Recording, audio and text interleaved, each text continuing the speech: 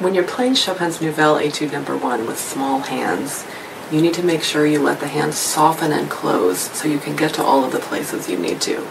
Don't be afraid of using the thumb on a black key. Let me show you some fingerings that I've found helpful.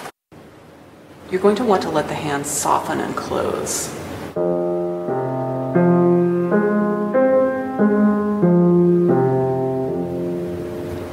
And you want to rotate through with the whole arm.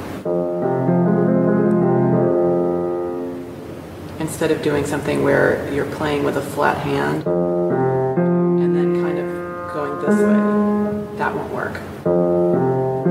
Rotate.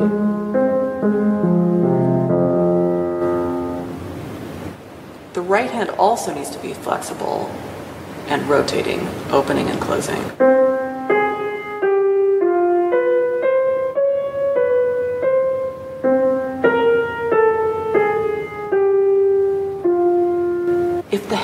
Rigid, the melody feels very awkward and there are lots of uncomfortable stretches.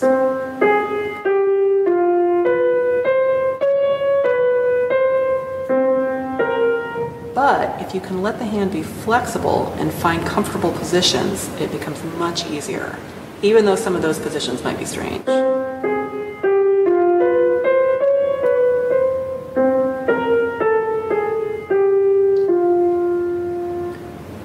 A position I like to call the one-eared llama can be really helpful.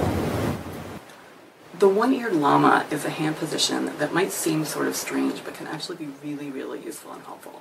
So if you imagine that your hand and your arm are a llama, here's two-eared llama, hello, with this being the body, and this being the neck, and this being the head, ears, nose, mouth. The distance between the ear and the nose is actually really far, and if you let your hand close, it can help you find the shape that you need.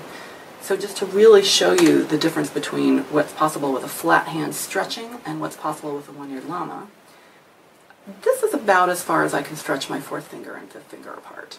And it doesn't feel great, and it's not that far. So if I take this distance, and then I turn my other hand into a one-eared llama, look at how much farther I can reach between five and four. And of course, it's true in both hands. So the one-eared llama reminds us that we are three-dimensional creatures and that we're going to sometimes need strange hand positions that are not just your typical one, two, three, four, five position, but that you can find the comfortable position that will let you get to where you need to go. For example, when the left hand is coming down to the bass notes, the one-eared llama can be really helpful.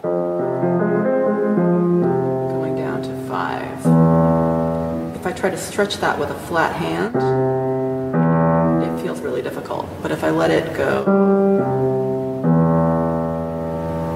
then it can work.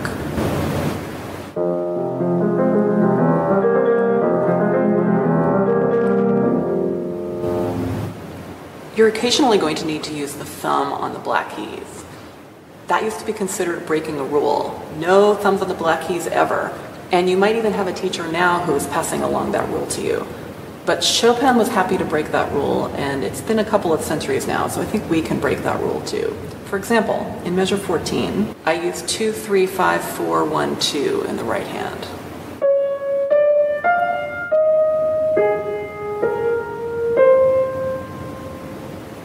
So don't be afraid of the thumb on a black key in this piece. When you're choosing fingering in the right hand, a nice principle is to let the hand find close hand positions as much as possible. For example, you could play in measures 10 and 11. The right hand could be 1, 5,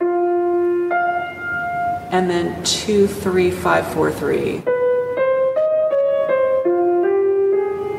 So that would be this.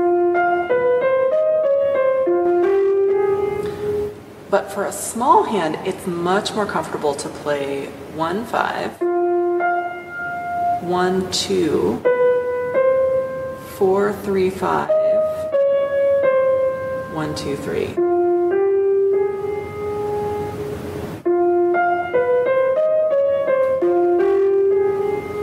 It will be easier, and it's one of the things this piece can teach you, if you can play to and from the fifth finger in either direction.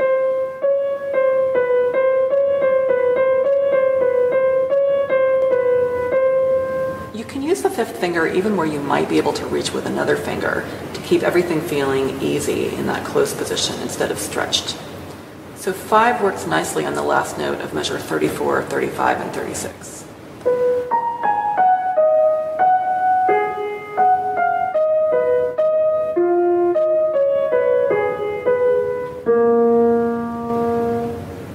Whether or not your edition lists it, I recommend that you use the thumb for the three successive notes in measures 40 and 42. And you can also use the thumb for those notes in measure 46. The thumb gives a clear accent that's an interesting musical point there. So experiment with your fingerings and let your hands soften and close and enjoy Nouvelle Etude number one. Let me know if you have any questions and good luck.